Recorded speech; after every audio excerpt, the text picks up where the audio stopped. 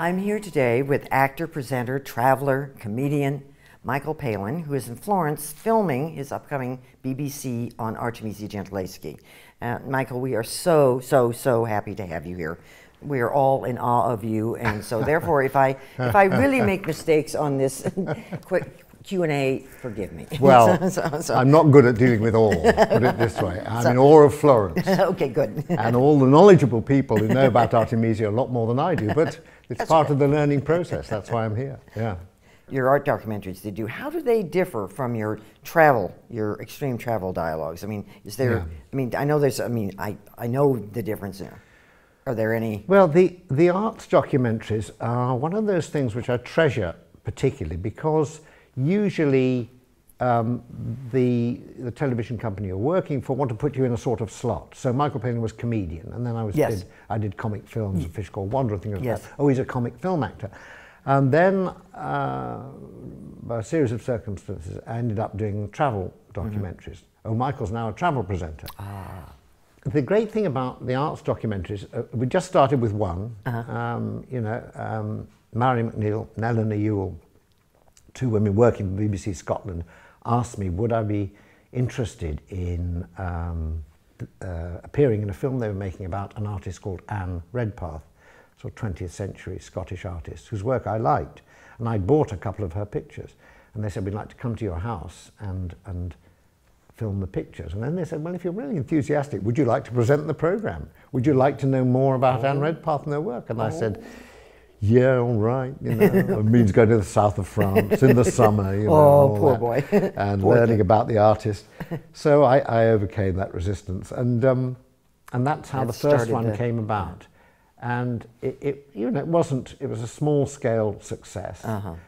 but after that Eleanor Murray and myself we, we, tended to make them when we wanted to make them there was oh. no we weren't put in a slot saying uh-huh. now Michael Palin has become an arts presenter so he's only going to do arts programs we did them as and when we thought oh. there was a oh. subject and we've now How done nice. over 18 years uh, nearly uh, 17 years we've now done Artemisia would be our sixth one. My and they're entirely because we wanted to do them. Now that happens very, very rarely. That's rare. Um, and I think the good thing is that we do, we do. Um, I mean, modestly, we do make them, we do do them well. Yes. We have a very good camera. Obviously. And Eleanor and Mary know a lot about the, the, the artist. Mm-hmm. And we also do them from the heart. Mm-hmm. You know, mm-hmm. this is not just, oh, we've got to do yeah. this one now, because, or that one now, because he or she is fashionable. Mm-hmm. It's entirely our own enthusiasm. When you talked about the artists, uh, most of them, as you said, are, are, not that well known, and you'd like to have them become yeah. well known. Um, I have always thought Artemisia Gentileschi was fairly well known, mm. so I'm curious why you particularly chose her, mm. Artemisia. I mean, is there yeah. a reason for Artemisia, or is it? No, there was a there was a reason. I was very taken with. Um, um, Judith and Holofernes one. Yes. I can't remember which one it was, the Uffizi or the one in France. But anyway, one of those images, and I, the one where I remember she's seeing cutting it. the head off. yes, exactly. That's it. Because it was so graphic. Yes. And so incredibly powerful. Yes, yes. And, and, and being administered by women in rather fine gowns and all yes. that. I thought this is, I've never seen a painting like this. Oh. Who's this oh. by? Oh. Uh, oh, so you, had, you hadn't heard of her before? No, I hadn't. Oh, no, no. Well, I mean, I, I, no, I hadn't really. Uh, and I, oh. I saw that this was attributed uh-huh. to Artemisia Gentileschi. Uh-huh. I thought, well, I'd like to find out more about her. And also, I didn't know of any great female artist of that great period, you know, the post-Renaissance. Oh. Um, you know all the, the male painters who were around yes, at the time. Yes. So that intrigued me, and yes. that seemed to fit our, our brief if ah, we have one. I understand. Here's somebody you know, people will not know about that there was that, that a painting as vigorous and physical and powerful yes, yes. and dangerous and as dangerous. this one yes, yes. was painted by a woman. Yes, you know, yes. and, and so it went on from there, and we did a little bit more yeah. investigation, and um, my producer and, and director Eleanor Mary both liked the idea of doing Artemisia. Oh yes.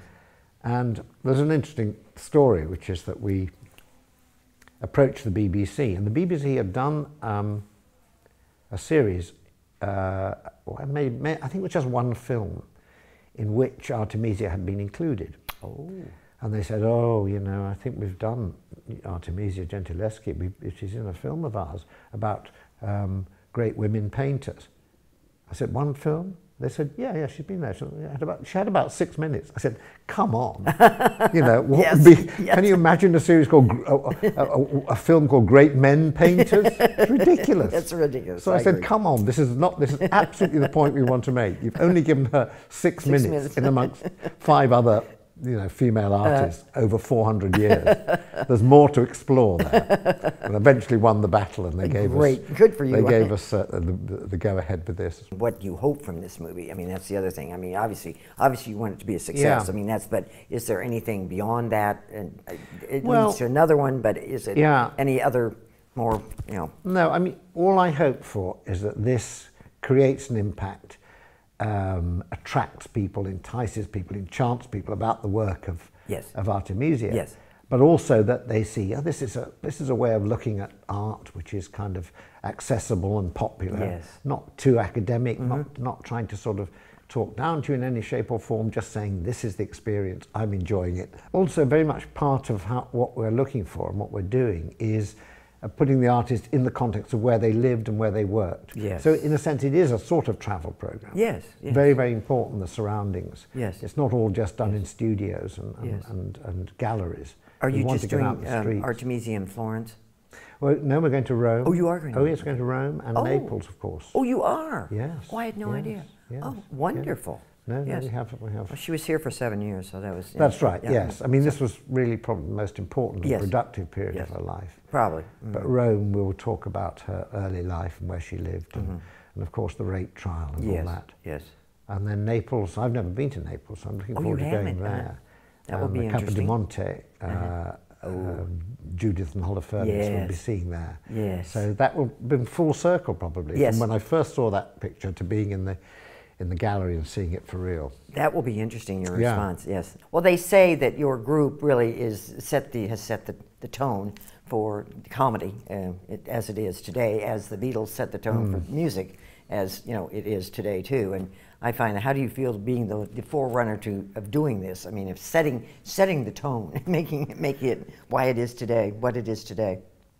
Well, you know, the impact of Python is just something that grew up around us. Mm-hmm. We didn't obviously at the time set out to break any Yeah, boundaries. You didn't realize that at the time. We, yeah. I mean, we did realise that we wanted Yeah. to do a different kind Yes, of show. yes. Everyone was doing something new. The Beatles were doing something Yes. new in music. Mary Quant was doing something new in fashion.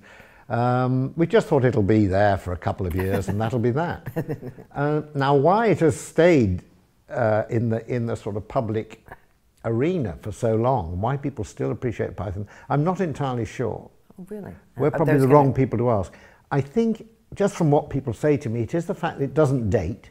It Yes. wasn't topical. Yes, it's not topical. Um, there were some good, strong, hard sketches, you know, Mm-hmm. some quite tough stuff, but also there was a lot of slightly more sort of surreal, whimsy-esque, Mm. slapstick stuff, which Mm-hmm. people, I think people like the mixture. And also, you never knew what you were going to get in a Python That's show. true, yes. You know, the characters were different Yes, each time. each time. Um, and the other thing I, I think, which I've just thought about this, is that actually, I mean, there's a lot of comedy now which is quite introspective and, and tending to talk about how awful our lives are and how difficult things are and how dreadful life is and all that sort of thing. Python was at the end uh, of each show, it left you with quite a joyful feeling. it was quite uplifting in a way. I don't want to seem as though we're sort of, you know, cheery, happy-go-lucky writers, but I think we were. I think we yes, honestly wanted to just entertain and make people laugh. Just make that was the laugh. Primary mm-hmm. thing.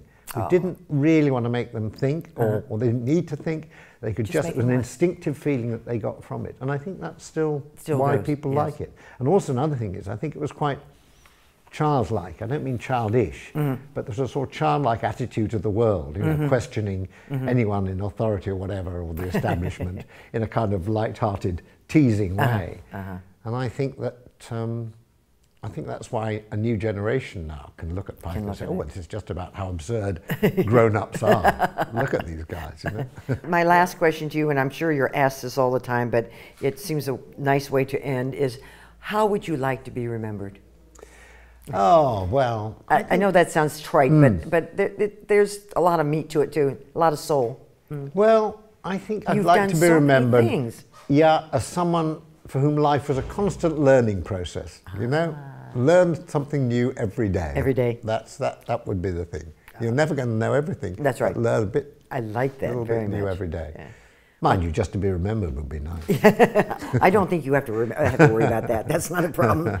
Well, thank you, Michael, so much. It's been my pleasure lovely. to interview you, and uh, I hope I see you again many more times. I hope so too. Good luck with your work too. you. I think it's I think it's great work. You're doing sort of what we're doing, but Yes. in a much bigger, more organised, and more efficient Well. scale. well, maybe we can work together on something. I- well, you never know. okay, thank you.